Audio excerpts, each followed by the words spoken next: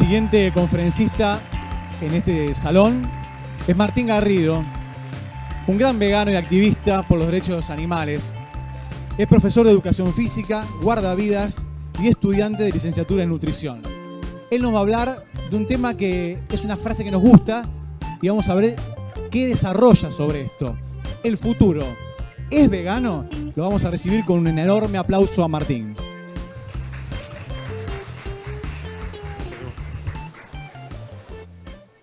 Bueno, muchas gracias, Hugo. Gracias a, Manu y a Gaby por la invitación de todos los años. Es un honor para mí eh, estar acá. Y bueno, gracias a ustedes por, por estar acá también este día que nos tocó medio complicado, eh, climático. Así que lo, valoro mucho que estén acá escuchando. Así que muchas gracias. Bueno, como dijo Hugo, yo soy Martín Garrido, soy activista vegano. Em, ahora voy a contar un poquito de mi historia. Y la idea de esta charla, yo ya en los dos años pasados me invitaron acá también y toqué algunos temas como derechos animales, veganismo y después educación especista, em, como para introducir la temática. Y hoy vamos a ver un poco em, esto que es básicamente una invitación a repensar nuestra comunicación y algunas palabras y frases que utilizamos dentro del veganismo y dentro del activismo. Em, Digo activismo porque, bueno, yo creo que cualquier forma de comunicación que tengamos dentro del veganismo es una forma de activismo, ¿no? Porque queremos fomentar el veganismo. Esa es la idea y, bueno, esa es mi idea también hoy con esta charla. Así que, bueno, espero que, les guste y que les sea productivo de alguna manera. Bien, em, para contar un poco mi historia, yo me hice vegano en 2018, al principio de 2018, porque, bueno, vi algunos documentales. Primero lo hice Tuve un cambio de alimentación por mi salud, porque descubrí que una alimentación basada en plantas, como bien dicen muchos profesionales de la salud, ¿no? Eh, tiene muchos beneficios para prevenir, incluso tratar enfermedades crónicas no transmisibles y después me di cuenta que también es bueno para el planeta, para el ambiente. Y yo empecé por eso y después vi un documental que se llama Earthlings o Terrícolas, que está en YouTube, eh, donde muestran la explotación animal explícita, ¿no? La distinta forma de explotación animal. Y ahí eh, fue un choque para mí, un shock emocional, como creo que para muchos también. Eh, y ahí empaticé con los demás animales y me di cuenta la problemática ética que tenemos con relación con los demás animales, ¿no? nuestra relación con ellos. Y ahí me hice vegano.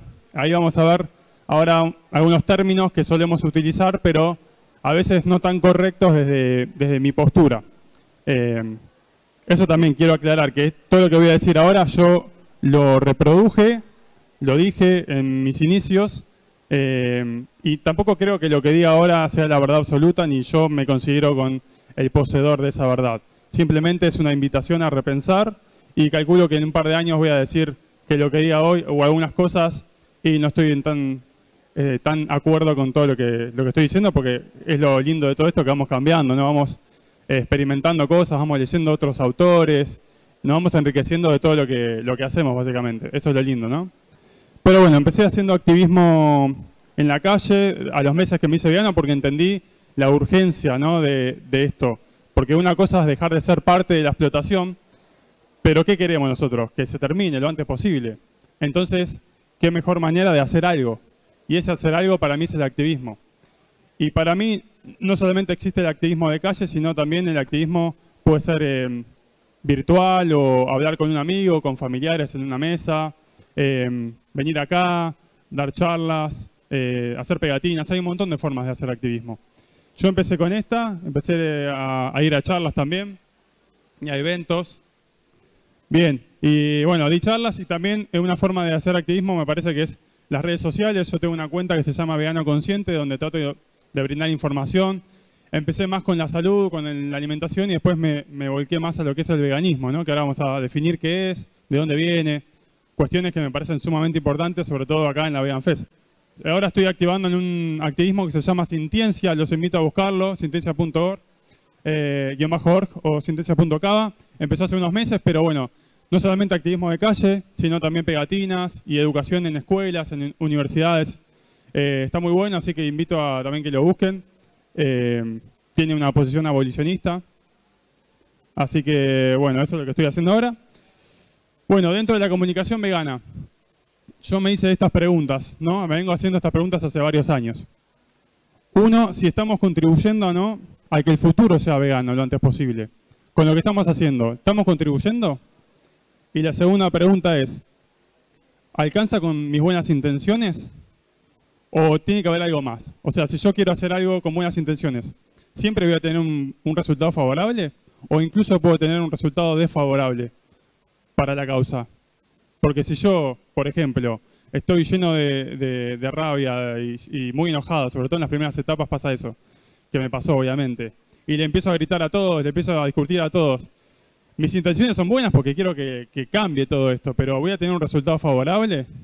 ¿O voy a, alejar más a las otras personas? ¿no? Entonces me parece que tenemos una responsabilidad enorme en esta causa porque nosotros no somos los oprimidos, somos los opresores. Y los oprimidos no se pueden defender, que son los demás animales.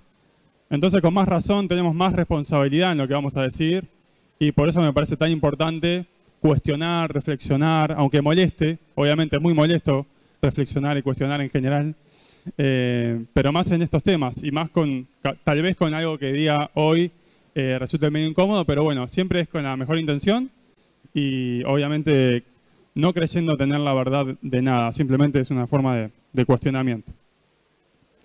Bueno, vamos con la temática de hoy. Palabras y frases que propongo superar dentro del movimiento vegano. Hay muchas palabras que tal vez la vean ahora, la vean cuando salgan, la vean en las redes sociales, frases también. Yo las dije muchos años y yo lo que intento hacer ahora, bueno, superar esto para que el movimiento crezca en lo que yo creo que es mejor, ¿no? Pero obviamente pueden estar de desacuerdo ustedes y me pueden decir, no, mira, no me parece. Eh, y está perfecto, es mi, mi visión sobre el tema y está argumentado y además, además de criticar, voy a, voy a proponer em, soluciones a esa problemática, ¿no? Eh, otras soluciones, para que no quede en la crítica nada más. Bueno, esto me parece lo más importante de toda la charla y lo que más tenemos que estar pensando hoy en día, aunque parezca muy básico, ¿qué es el veganismo? El veganismo se relaciona con un montón de cuestiones, lo, lo vemos día a día, pero ¿Es así realmente? ¿El veganismo es alimentación? ¿Es salud? ¿Es ambientalismo? ¿Es vegetarianismo? ¿Espiritualidad? ¿Estilo de vida? ¿Amor? ¿Moda? ¿Religión? ¿Es un conjunto de prácticas? Bueno, yo voy a decir que no, no es nada de todo esto. Ni para mí se debería relacionar con todo esto. Ahora voy a explicar por qué. Bueno, solemos ver esto, ¿no? Que yo no estoy a favor, eh, lo usé mucho tiempo, pero bueno, me parece que debemos entender de dónde viene el veganismo y cuál es su objetivo principal, para no mezclarlo con otras cuestiones. Ahora, bueno, por el planeta, por las personas, por la no violencia, por la compasión, bueno, para los animales también. Bueno, yo busco la palabra veganismo en Canva, por ejemplo, para hacer esta presentación, ¿y qué me sale? ¿Qué, resultado me salen? ¿Animales? No. Me salen hojas, platos, ensaladas, 100% eh, orgánico. Eh, esto, ¿no? Básicamente, si lo hacen ustedes también, van, van a imágenes, ponen veganismo y le va a salir algo relacionado con la salud o con la alimentación. Pero muy pocos animales. Qué raro, ¿no?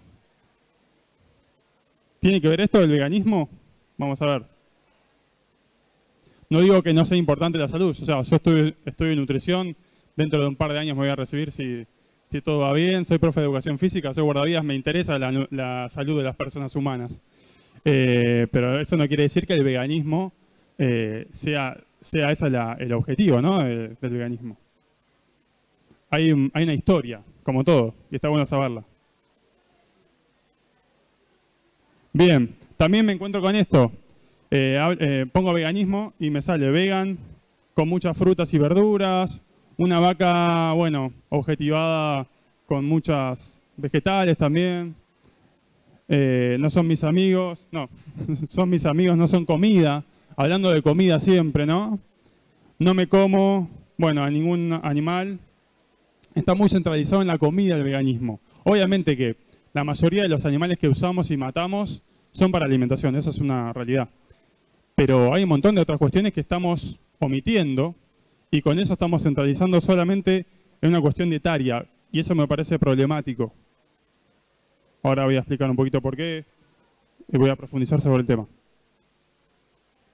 Bien, ¿de dónde surge el veganismo? ¿Dónde, dónde, sale el veganismo? Bueno, en 1944 en la Vegan Society eh, en, Inglaterra surgió la primera sociedad vegana. Era primero por una cuestión de excluir los lácteos eh, y las carnes. Pero después, bueno, él es Leslie Cross, el que definió el veganismo por primera vez en 1951. Eh, y tuvo varios ensayos para llegar a eso. En, búsqueda del veganismo, hay muchos textos que son muy interesantes si lo quieren leer. En búsqueda del veganismo 1, en búsqueda del veganismo 2, donde va enumerando las cuestiones eh, que van a resultar en la definición original del veganismo, que me parece sumamente importante porque de acá venimos, ¿no? 1951, imagínense que pasaron más de 70 años. Y seguimos repitiendo que a veces el veganismo es eh, una cuestión de salud o una cuestión alimentaria. Pero bueno, ¿qué dice Leslie Cross? Que obviamente también se puede cuestionar lo que dice Leslie Cross, no, no, no es un dios, ¿no? El propósito de nuestro movimiento debe ser el eh, final, debe, debe ser el final de la explotación de los animales por el hombre y la palabra veganismo significará la doctrina de que el hombre debe vivir sin explotar a otros animales. Bueno, obviamente hay que entender el contexto ¿no? de la palabra hombre. Ahora vamos a redefinirlo un poco actualizándolo porque se centra mucho en el hombre, ¿no? También, en vez de decir ser humano. Em, pero bueno, la palabra doctrina ahora la vamos a definir también. Pero lo importante acá es que el fin de la explotación de los animales por el ser humano o por el hombre. Ese es el principal objetivo y la, principal problemática que tenemos hoy en día en relación a los demás animales, ¿no? Poner fin a la explotación. Eso es importante que lo entendamos y que lo, que lo repitamos también, porque no, podemos tergiversar todo lo, del movimiento porque se nos ocurre, porque hay una historia detrás.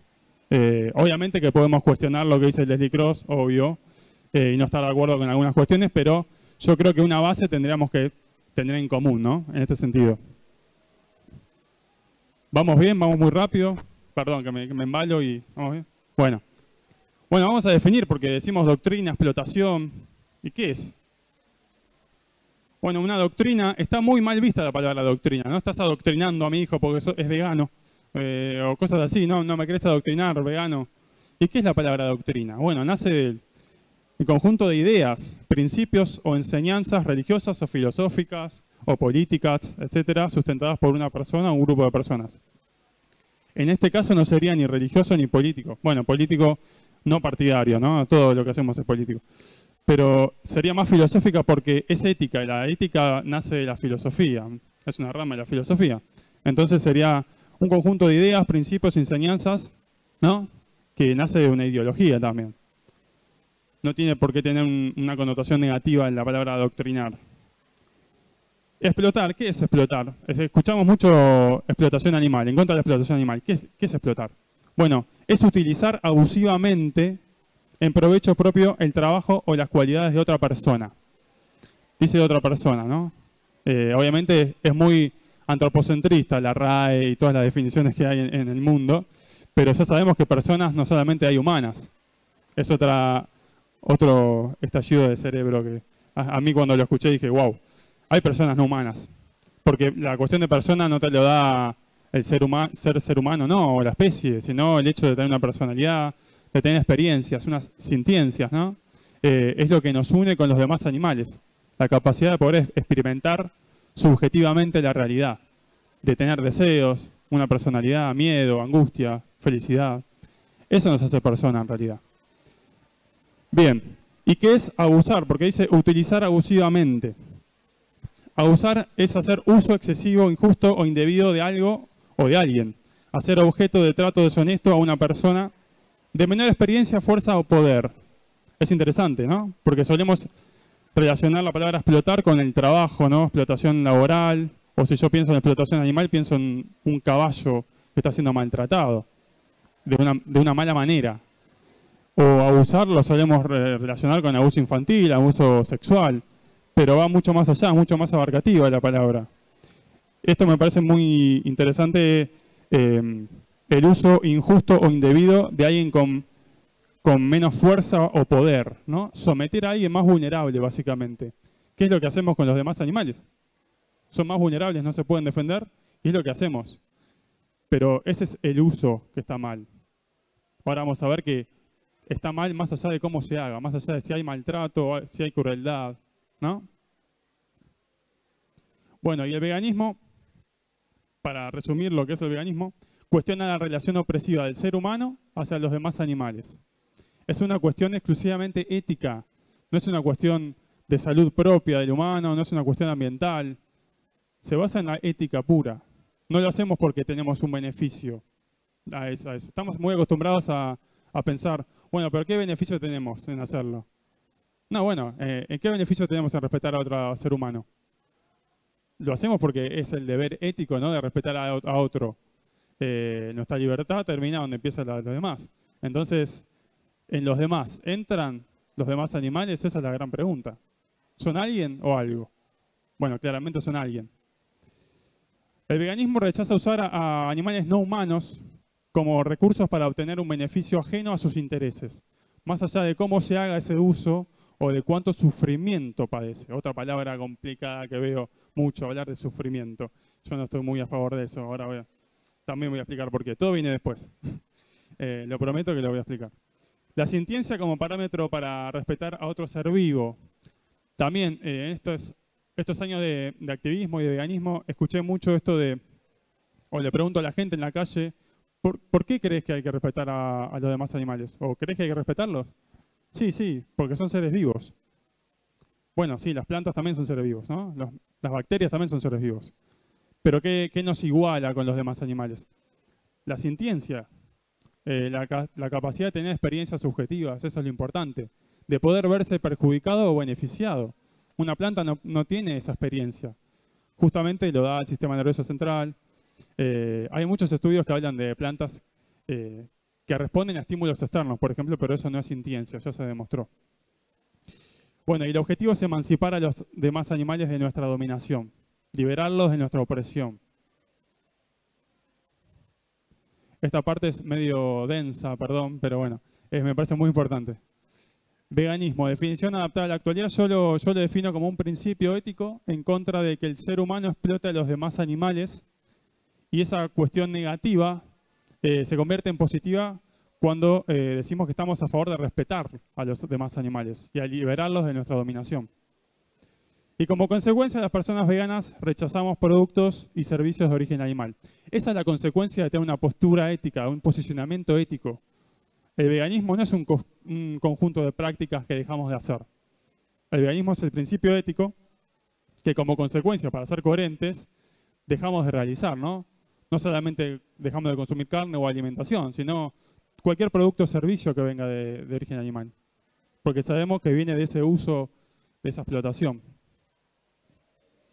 Bueno, y esto también me parece curioso Ahora en la última revisión de la alimentación basada en plantas, no sé si la, vieron, pero es del Ministerio de la Salud, es muy interesante porque define alimentación vegana. Yo estuve mucho, mucho tiempo en contra de decir alimentación vegana, porque también relacionaba el veganismo con una dieta, y no es una dieta. Pero justamente la alimentación vegana te dice lo que estamos excluyendo. Estamos excluyendo ingredientes de origen animal, carnes, huevos, lácteos, miel, todo lo que venga de los demás animales, y esta a su vez puede ser basada en plantas o no. Esto también me parece interesante porque una alimentación basada en plantas te dice lo que estás consumiendo. O sea, predominantemente alimentos de origen eh, vegetal integrales. Frutas, verduras, vegetales, legumbres, frutos secos, semillas. Pero una alimentación vegana te dice lo que no comemos. O sea, puedes tener una alimentación vegana y comer chisitos y coca, Coca-Cola todos los días, ¿no? Es una alimentación vegana. Eso no quiere decir que sea saludable o que eso tenga beneficios para la salud. Los beneficios para la salud, que solemos hablar siempre y está muy bien, es de una alimentación basada en plantas. ¿Sí? Y para el ambiente también, obviamente. Eso no es veganismo y tampoco es una alimentación vegana. podemos tener una alimentación vegana y tener una alimentación basada en plantas. Obvio, sería lo mejor. Para, bueno. Y la alimentación vegana eh, basada en plantas puede incluir ingredientes de origen animal, ojo con eso. Eh, la dimensión basada en plata se define también como puede tener un poco de carne, huevos o leche o lácteos. Entonces, si decimos, para ser más riguroso con la, definición, sería una dimensión vegana basada en plantas, ¿no? Así ya excluimos todo eso y agregamos lo que estamos consumiendo. Bueno, basta de definiciones, los aburrí. vamos a la, a cuestión. Bueno, palabras que suelo escuchar mucho y yo también utilicé, ¿no? Muchos años. Crueldad, maltrato, sufrimiento. ¿Alguna vez las escucharon hablar de veganismo? Calculo que sí. Lo que yo veo problemático en estas cuestiones es que se centran en el cómo y no en el uso de la explotación en sí misma, ¿no? Crueldad, por ejemplo, eh, es eh, estar contento o disfrutar del sufrimiento de otro. Eh, y eso no quiere, decir, no quiere decir que todos los tipos de explotación tengan crueldad. Entonces yo me pregunto, ¿una explotación sin crueldad es justificada, es aceptable? ¿Siempre que hay explotación hay crueldad? ¿Siempre hay maltrato? ¿Siempre hay sufrimiento? Bueno, esto también lo que hace es perpetuar el bienestarismo. No sé si eh, escucharon hablar del término, pero básicamente es lo que hace el bienestarismo. Es una, es una herramienta que utiliza la industria de explotación animal para decir, miren que bien que tratamos a las gallinas, miren que bien que tratamos a las vacas, miren que bien que tratamos a cualquier tipo de animal. Tienen jaulas muy grandes, tienen un patio enorme para correr, las, les hacemos mimitos, pero bueno, siguen siendo esclavizadas y van a terminar seguramente siendo asesinadas. Ese es el bienestarismo, ¿no? Los huevos de gallinas felices, la carne orgánica, la leche orgánica. Son todas, todos eufemismos o formas de eh, como rebajar la explotación. Entonces, yo creo que estas palabras estamos dándole pie a ese bienestarismo, ¿no? Estamos diciendo, bueno, pero mi explotación es sin crueldad, es, es sin sufrimiento. Si ya está pasando bien el perro policía, ¿qué problema hay ahí? Si no hay maltrato, sea, no le estoy pegando a ese perro yo. Pero el problema es pegarle al perro o esclavizarlo y usarlo justamente lo que vimos recién. Usar a alguien más vulnerable para obtener un beneficio propio. Verlo como un recurso, no como un ser humano, como un, ser sintiente, como una persona. ¿No? Como un individuo, como un sujeto. ¿Eso es respeto? Si fueran niños, por ejemplo, ¿diríamos que es aceptable usar a un niño para que trabaje para nosotros? ¿Qué diferencia hay? Bueno, van a decir, bueno, pero uno es un humano y otro es un animal no humano. Bueno, justamente, eso es, el especismo, ¿no? Porque es la única diferencia. Son los dos individuos más vulnerables que no pueden dar su consentimiento libre informado. Y estamos aprovechándonos de esa vulnerabilidad. La única diferencia es la especie. Y esa es una discriminación arbitraria que ahora vamos a ver que se llama especismo, justamente. Como existe el racismo, el sexismo, etc. Bueno, ahora sí. Lo que decía recién, ¿el real problema es esclavizarlos y explotarlos o que se haga con crueldad, maltrato o demasiado sufrimiento? ¿Cuál es el problema? Obviamente que el sufrimiento es problemático, a mí no me gusta sufrir. El maltrato también y la crueldad también. Pero la raíz problemática, ¿cuál es? Es la esclavitud y la explotación. ¿Por qué no estamos hablando de la explotación en vez de sufrimiento o la crueldad? ¿Sería aceptable una explotación sin todo esto? ¿Sin maltrato, sin crueldad y sin sufrimiento? Porque la industria ya está pensando en esto justamente, ¿no? Así que tenemos un problema. Bueno, y uno de mis activistas favoritos de todos los tiempos se llama Tom Reagan y habla un poquito de esto.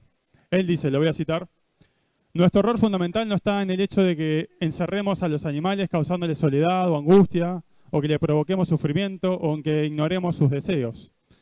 Claro que todo eso está mal, pero no es el error fundamental. Esas son consecuencias de nuestro fundamental error moral, que consiste en ver a los animales como seres que carecen de valor intrínseco o inherente propio de ellos, como recursos para nuestro beneficio. Esta es eh, la real problemática, ¿no? Verlos como, eh, como cosas, como, con un valor extrínseco, como una, por ejemplo, una silla tiene un valor extrínseco, exterior a esa misma, porque no tiene un propio valor, ¿no? Esa silla la uso porque es un objeto. Pero con los demás animales ya sabemos que tienen valor intrínseco propio, ¿no? Entonces, el real problema es verlos como un objeto, verlo como un recurso.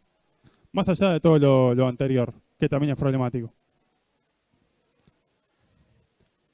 Bueno, filosofía vegana blogspot, es una página que recomiendo mucho, hay muchos textos y la verdad que es, muy buena.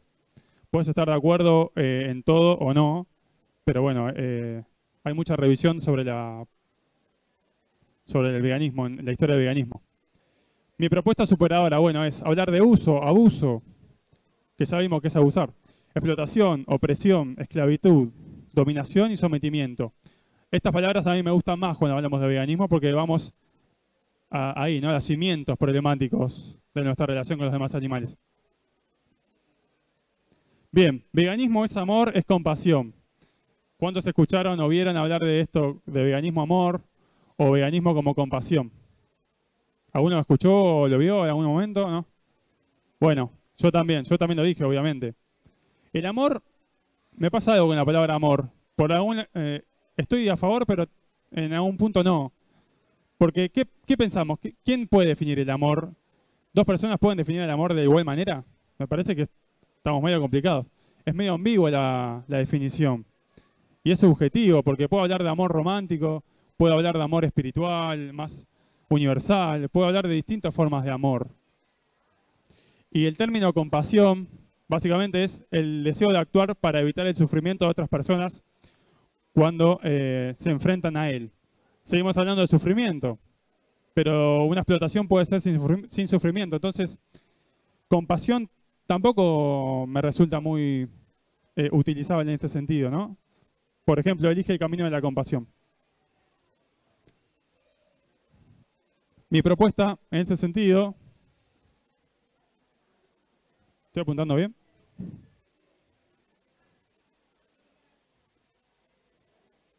Bueno, mi propuesta superadora es eh, el respeto, la empatía, la libertad, la igualdad y la justicia. Estos son todos eh, sinónimos para mí de veganismo, ¿no? Eh, se basan en el respeto, en respetar a otro. Calculo que sí o sí tenemos que tener empatía con alguien más para entender que ese ser es alguien y no algo, ¿no? Tenemos que ponernos un poquito en su lugar. Tenemos que liberarlos de nuestra dominación y bueno, el principio de igualdad nos habla de que al ser seres sintientes compartimos eso. No somos iguales, obviamente, pero nos iguala el tener experiencias. Eso nos hace iguales. Y el sentido de justicia porque estamos en contra de una injusticia, que es oprimir a los demás animales.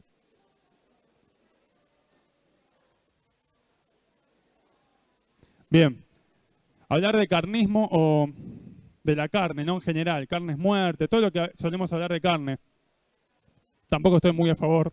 Eh, lo hice también en su momento, pero yo me pregunto, ¿el real problema con nuestra relación con los demás animales es comer su cuerpo?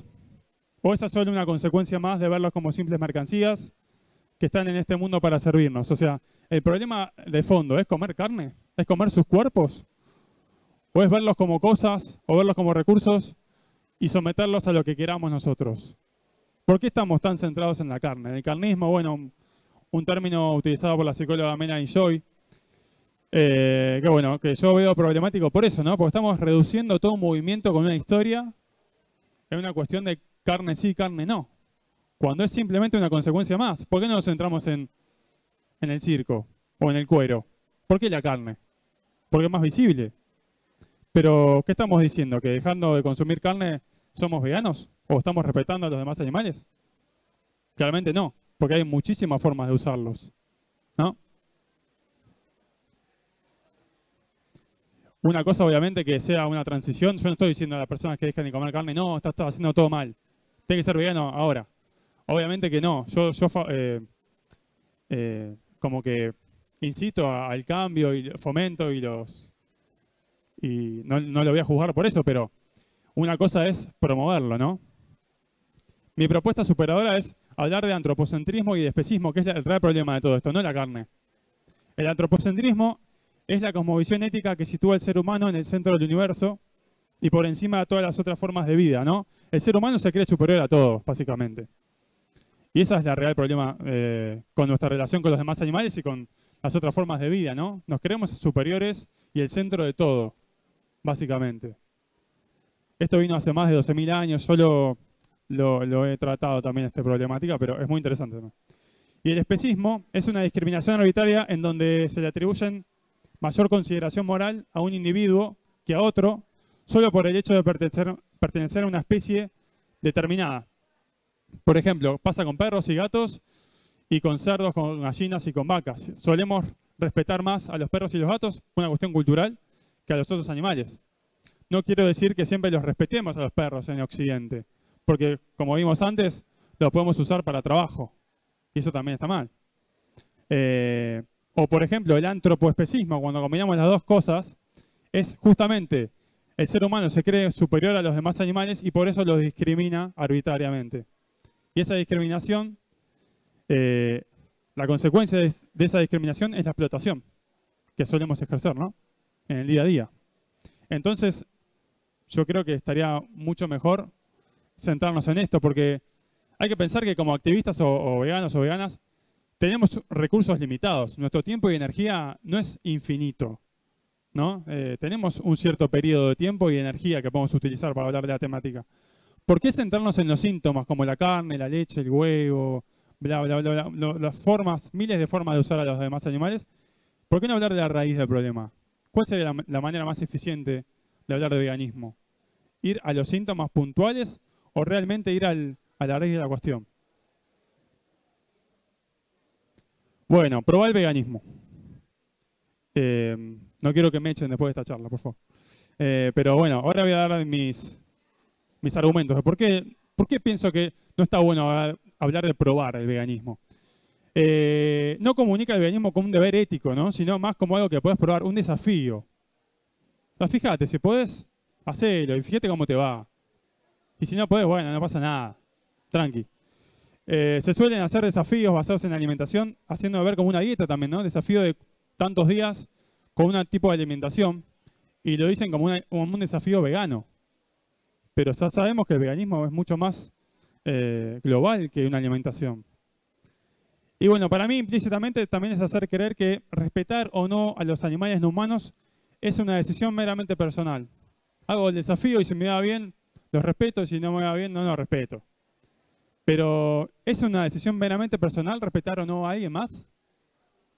Si, si involucra a víctimas de por medio, ¿es una decisión personal como ponerme esta remera o ponerme una blanca? ¿O realmente hay alguien en el medio, no? ¿Estamos viendo a ese alguien como alguien? Esa es la pregunta, ¿no? ¿Es un deber ético respetar a otro ser humano? Yo creo que sí. ¿Y por qué, no, por qué no hablamos de igual manera con los demás animales? Estamos ejerciendo la misma discriminación nosotros mismos como activistas, creo yo, ¿no? Obviamente que el contexto social es, mucho, es muy distinto, ¿no? Hace muchos años la esclavitud humana era, era legal y era aceptada socialmente, como hoy en día eh, está aceptada socialmente la esclavitud animal no humana. Obviamente que el contexto es distinto, lo entiendo, pero me parece que siendo activistas deberíamos ir por el mensaje más de raíz sin discriminar a nadie. Bueno, el reto vegano de tres semanas por PETA, estas cuestiones yo no, no coincido. Voy a dar una alternativa a esto, porque me parece que la práctica también es muy importante. O sea, no basta con decirle a las personas, hacete vegana. Fíjate cómo, cómo haces y listo. Vos fíjate. No, me parece que es muy importante darle herramientas a las personas porque nos educaron desde muy chicos con un con un tipo de alimentación, con un tipo de cuestiones eh, que tenemos muy arraigadas y a veces es muy difícil cambiar.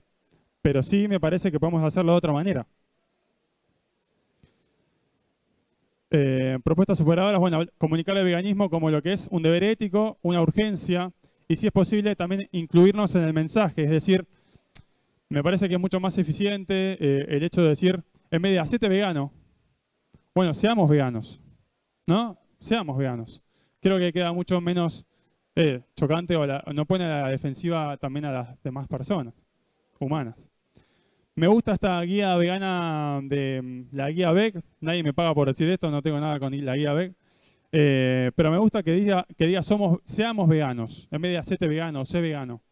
Seamos veganos, porque eh, somos, estamos todos partes de, lo mismo, ¿no? la recomiendo mucho. Tiene enlaces rápidos también para, lugares para comer, nutricionistas, profesionales. Esto me parece muy importante, ¿no? la parte práctica. No solamente saber por qué hacerlo, el cambio, que es lo fundamental, por qué hacerlo, pero también cómo. Porque si no tenemos las herramientas y nos vamos a quedar en la intención y no sirve tampoco, ¿no?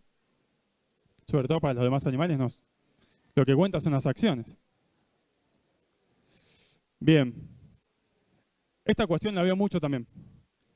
Y como estudiante de nutrición, imagínense. Hablar de, como lo contrario de vegano, es el omnívoro o el carnívoro, ¿no? Me, dicen mucho, no, pero yo soy omnívoro, no soy vegano. Soy carnívoro también, ¿no? Me dicen. Hay que entender que tanto el carnivorismo como el omnivorismo, son capacidades fisiológicas. No son posturas éticas. No son principios éticos. El veganismo es un principio ético. Pero ser omnívoro no es un principio ético, es una cuestión de que puedo digerir animales como vegetales o frutas. El carnivorismo también. Necesito comer animales sí o sí. Por ejemplo, los gatos. Son carnívoros estrictos. Pero hay un error fundamental en decir los veganos y los omnívoros, o los veganos y los carnívoros. No, somos todos omnívoros, desde mi punto de vista, ¿no? Hay gente que dice que somos frugívoros. Bueno, eso no es la cuestión de hoy. Pero somos omnívoros que decidimos dejar de explotar a los demás animales. No tiene nada, no tiene nada de malo decir somos omnívoros. Porque es una capacidad fisiológica. Pero 20. 15, 20. Dale, dale. Dale, dale. Vamos a vamos apurando acá. Las personas veganas somos omnívoras que elegimos dejar de colaborar activamente con la explotación hacia los demás animales. Bueno, seguimos. Propuesta superadora, hablar de personas veganas y personas no veganas. Básicamente es el antónimo, ¿no? Violencia a comer animales. Bueno, también, reduce la problemática en la cuestión alimenticia. ¿Por qué es comer animales la, violencia? Estamos omitiendo muchos tipos de explotación. Da a entender que el, vegetarianismo sería la solución, pero sabemos que el vegetarianismo es dejar de consumir los cuerpos de los demás animales. Salvo que sea un vegetarianismo estricto, ¿no? que dejamos de consumir, que en realidad se debería llamar así, todo tipo de producto de origen animal. Pero también es una cuestión dietaria nada más el mensaje este. Eh, mi propuesta sería violencia es usar, explotar, oprimir a los demás animales. Esa es realmente la cuestión. Seguimos. Promover, reducir el consumo. Eso tampoco me parece que favorece, favorezca, el movimiento. Si las víctimas fuésemos nosotros, una situación hipotética, ¿no? Pongámonos un segundo en su lugar. ¿Diríamos que es aceptable que nos exploten un poquito menos? ¿O solo algunos días de la semana?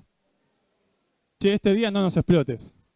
O diríamos, no nos tenés que explotar ni oprimir ningún día, ¿no? O con injusticias entre seres humanos. Diríamos, che, dejá de hacer eso con ese ser humano. Eh, una vez por la semana está bien. No lo diríamos que, que sea correcto, ¿no? Pero con los demás animales sí lo hacemos. ¿Por qué? Porque son animales no humanos. Promover el veganismo como base mínima de respeto hacia los demás animales. El veganismo es lo mínimo que podemos hacer por los demás animales. ¿sí? Ese mínimo respeto, dejar de usarlos como, como si fueran cosas. No financie la explotación animal. Esto lo dije hasta hace no mucho. Y bueno, entendí que podemos colaborar o ser parte de la explotación animal de manera directa sin financiarla también. El problema no es la financiación, es colaborar con ella o ser parte de ella. ¿sí? Ejemplo, tengo una gallina y le saco los huevos para comer. ¿Qué problema hay? Tengo un perro para que me cuide la casa. Para eso lo tengo. Más allá de cómo lo trate, ¿no? O tengo un caballo para usarlo como transporte. Pero no se queja, ¿eh? No le, no, no, golpeo. ¿No hay ninguna problemática ahí? O tengo una vaca para sacarle su leche. Es la misma mentalidad. El problema no es el maltrato, como vimos antes, ¿no? Eh, ni tampoco la financiación, es ser parte activa de la explotación. Dejemos de ser parte activa de la, eh, colaborar directamente con la explotación hacia los demás animales. Esa es mi propuesta, ¿no? Bueno, basta de matar animales, lo mismo. El real problema es matarlos o verlos y tratarlos como mercancías que están en este mundo para servirnos. Si los explotamos y no los matamos, ¿está bien? Con un ser humano esclavizado, ¿diríamos que está bien? No lo matamos, ¿eh? Pero lo tenemos ahí para usarlos para nuestro beneficio diríamos que está mal, pues ya entendimos que está, mal esclavizar a otro ser humano. Pero bueno, ¿por qué con los demás animales nos cuesta tanto? Bueno, el especismo tiene mucho que ver. ¿Es aceptable una opresión en donde el, el opresor no mate al oprimido? Una pregunta que hago. Basta de usar, explotar o oprimir a los demás animales sería para mí una mejor opción. De no hablar de matar, no hablar de comida tampoco. Si no sos vegano, sos un asesino, sos un abusador. Esto lo veo mucho en el activismo también. Y tampoco estoy a favor de esto, obviamente. Eh, esto puede generar más rechazo eh, que motivación para el cambio. ¿qué, sienten si yo les digo, si no sos vegano, sos un asesino? Sos un explotador. ¿Qué sentirían? ¿Ganas de ser vegano? O, che, pará, ¿qué me está diciendo? Yo no soy un asesino. por más que lo seamos o no lo seamos, es una, eso es, otro debate, digamos. Si le pagamos a alguien para que mate a otra persona, ¿somos asesinos? Bueno, eso es otro debate.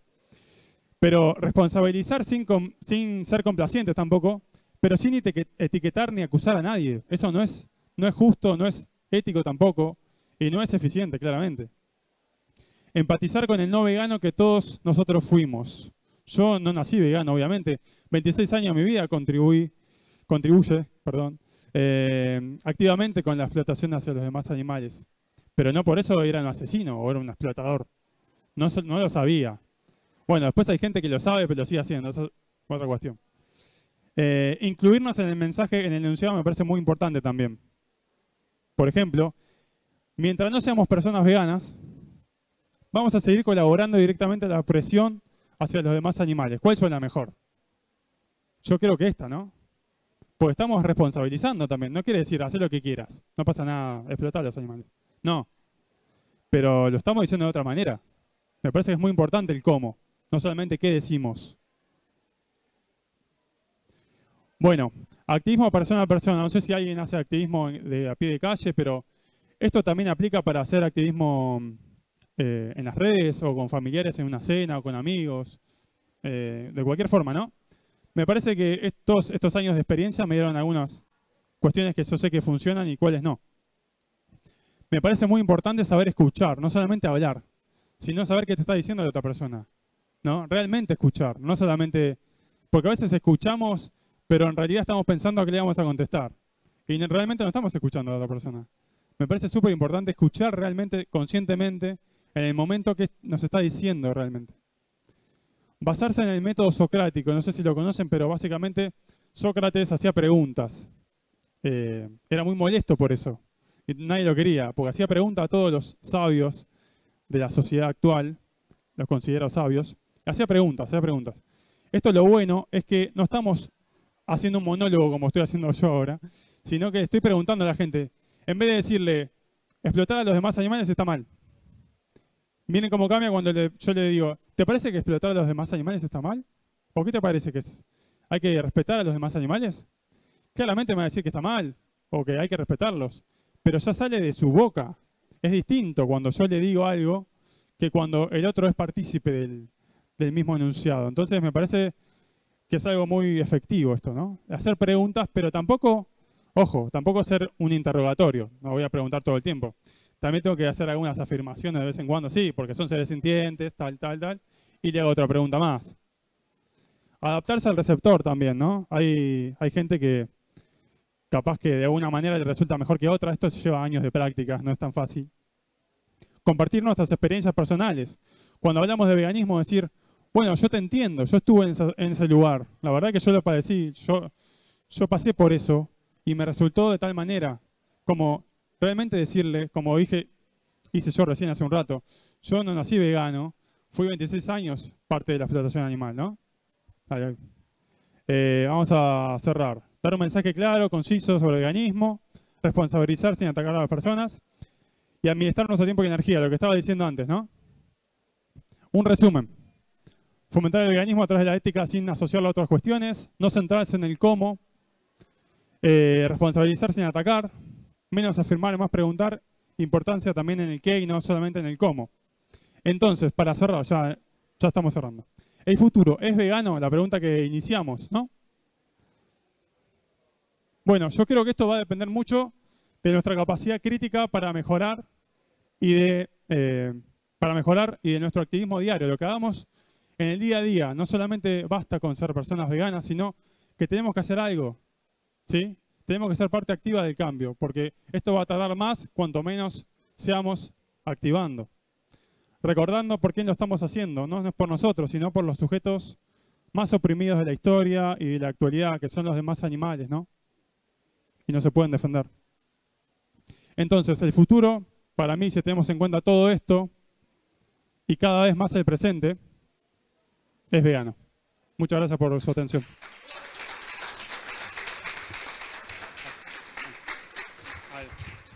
Bueno, ¿alguien que hace alguna pregunta Martín? Bueno, la idea es que no se puede ser un tibio, ¿no? O sea, o, formamos parte del veganismo o de la explotación animal. No hay mucha, no hay término medio. O sea, la vaca no está medio muerta. O sea, es así. ¿Alguien quiere hacer una pregunta sobre todo de activismo? Me encantó tu, tu charla, porque creo que la gente tiene que saber que un litro de leche necesita mil litros de agua. Un bife, no sé de cuántos gramos, diez mil litros de agua. Entonces, tienen que entender la gente que nuestro planeta está en un estado crítico y eso nos hace responsables. Y cuando nosotros elegimos el veganismo o empezar con el vegetarianismo, estamos colaborando para que el planeta sane y lógicamente para que los animales sean libres, que es una ley natural. Así como nosotros que somos libres, ellos también, porque ellos nacieron para ser libres, no esclavos y, para servir de comida a nosotros. Muchas gracias. ¿Cuántos años tenés? ¿Cuántos años tenés, Rosa? Yo 35. Ah, muy bien. Bueno, muchas gracias por, por, el aporte. Tal cual. Bien, tal cual lo, que decía yo al principio, que aunque el veganismo no se centre en el medio ambiente ni sea su objetivo, obviamente no podemos tener una realidad con los demás animales libres si no tenemos un ambiente sano y habitable, porque también depende de lo que hagamos en el día a día, ¿no? Entonces la, salud y la libertad que estamos pregonando con el veganismo depende del ambiente que sea habitable para todos nosotros, ¿no? Para todos los tipos de animales. Así que eso es muy importante lo que dijo la señora. Sí, hay un tema que a veces se pasa por alto. Cuando dicen no hay normas, atención, el artículo 41 de la Constitución Nacional exige y establece el derecho de todo habitante de la Nación Argentina a tener un ambiente sano no es un derecho más, es un derecho constitucional, el más alto en toda la pirámide jurídica. Entonces, cuando reclamamos un derecho a ambiente sano, no es un derecho así nomás. Es el derecho uno de los más importantes, como la vida. Y cuando decimos los animales, eh, hay que dar una categoría. Ya la Constitución dice el artículo 16 que todo habitante de la nación argentina es igual ante la ley y tiene los mismos derechos para todos. No dice persona, ni humana ni humana, dice habitante de la nación argentina. Y la pregunta es, los animales, ¿habitan con nosotros o no habitan este suelo? ¿Y por qué hay esclavos? Si desde la jura de la Constitución de 1853 dice que no existen más esclavos en Argentina. Bueno, un fuerte aplauso para Martín, un genio.